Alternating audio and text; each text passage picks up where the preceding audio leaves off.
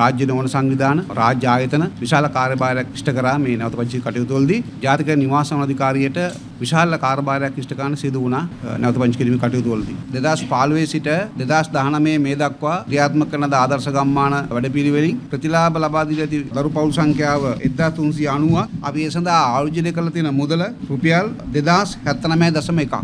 ආදර්ශ ගම්මාන හතක් ජනතාව ඉදිරියට පත් කරලා තියෙනවා සෙසු ගම්මානවල ඉදිරියෙන් දැන් ඉදිරියෙන් පවතිනවා